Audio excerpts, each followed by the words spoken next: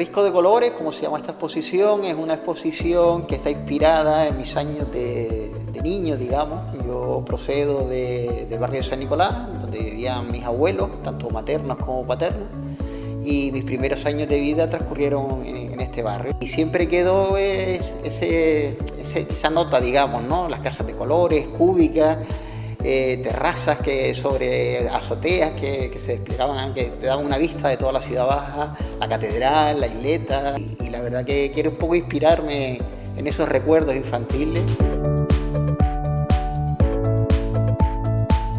El pal es una madera que, y un material que, me daba pena, por ejemplo, un material que fue o es natural, que, que tuviera un solo uso, y que se desechara, ¿no? Entonces digo, pues voy a aprovecharlo y darle una como una segunda vida y entonces pues nada, empezamos a hacer pruebas y tal, a ver qué tal quedaba y, resultaba bonito porque daba la, la, sensación y te daba la oportunidad de jugar con, con volúmenes, con dimensiones, tres dimensiones, dos dimensiones.